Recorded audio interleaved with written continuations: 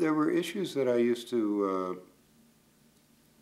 there were situations that I, I, I used to do with the, uh, with my collectors, or the collectors that I would interact with.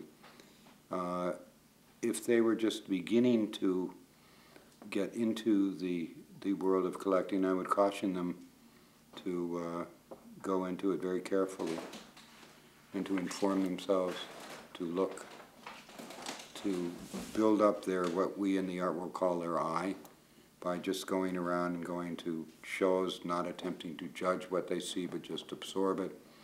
And uh, over a period of time, intense, of this rather intense commitment, if they went along with it, they would develop their own knowledge about what art is, and uh,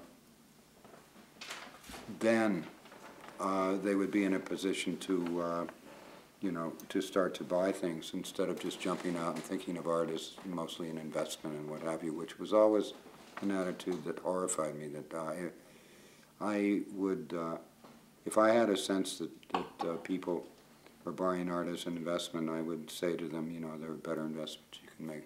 Go buy gold or jewelry or what have you, but you know, art isn't really, or it should not be about that. And that may have been destructive to my own development and financial well-being because I really stuck to that. People would walk out of my gallery with their mouth open. Did I hear what I just heard? This guy doesn't want to sell me any art. I said, don't buy anything for a year.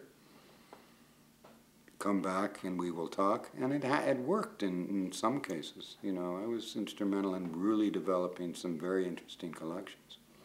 Not all came through that path, but there were the great collectors like the Tremaines, uh, Panza, etc., uh, whom I had the privilege of working with for years, uh, a lot of respect. They taught me a lot. So there's like two sides of, of, of the coin speaking there.